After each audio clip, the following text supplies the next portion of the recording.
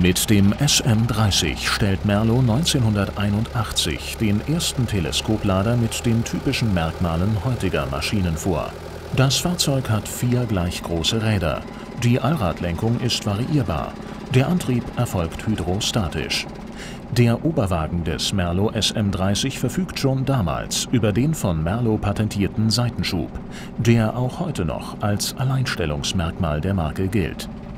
Dabei kann der Oberwagen und mit ihm der Arm einfach per Knopfdruck nach rechts oder links verschoben werden.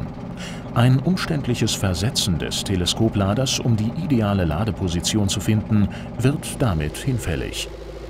Der kompakte SM30 wird damals vor allem in der Baubranche eingesetzt. Bei der Entwicklung sind damals viele Kundenwünsche eingeflossen. Die sogenannte Panoramik-Serie startet 1987. Mit dem Panoramic XS wird weltweit der erste Stapler angeboten, dessen Motor seitlich gelagert ist.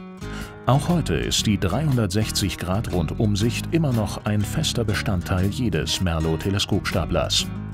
1987 ist es jedoch ein Novum und möglich, weil das Chassis angepasst wird und der Motor seitlich und zum Teil unter Flur liegt. Neu außerdem der Niveauausgleich. Mit ihm können bis zu 10% der seitlichen Bodenneigung ausgeglichen werden. Damit wird der Teleskoplader zum unschlagbaren Gerät für punktgenaue und vor allem standsichere Umschlagarbeiten. 1991 präsentiert Merlo mit dem P206 SC den weltweit ersten Kompaktteleskoplader. Er hat eine Tragkraft von 2 Tonnen und setzt Maßstäbe in Sachen Wendigkeit und Abmessungen. Mit Gründung der Heinrichs-Merlo-Teleskoptechnik-Vertriebsgesellschaft wird der Verkauf der Merlo-Technik in Deutschland und Österreich vorangetrieben. Im selben Jahr stellt Merlo die Panoramik EV-Serie vor, die speziell für die Landwirtschaft konzipiert ist.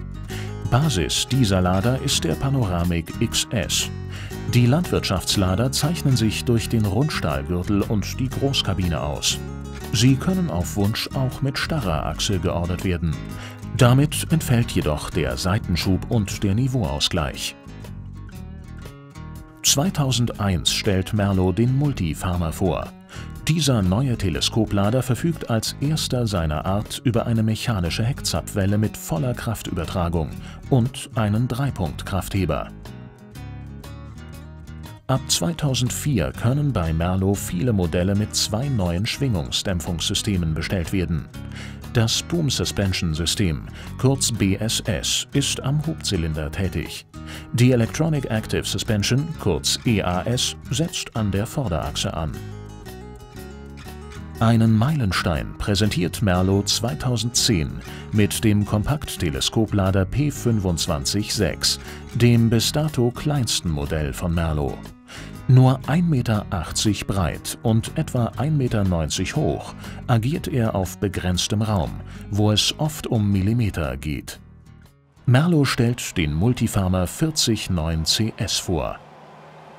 Mit neuer Kabine, den bewährten Teleskopladermerkmalen, überzeugt der Multifarmer 409 CS vor allem durch den leistungsstärksten Hydrostaten der Merlo-Geschichte. Mit 156 PS und verstärktem Chassis hebt er bis zu 4 Tonnen mit dem Arm und etwa 7 Tonnen mit dem Hubwerk.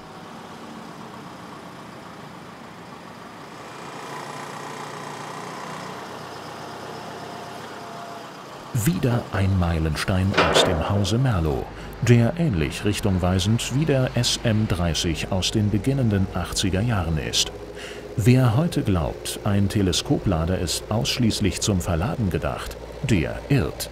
Seit dem Beginn der 80er Jahre hat sich an der grundlegenden Konstruktionsidee nur wenig geändert.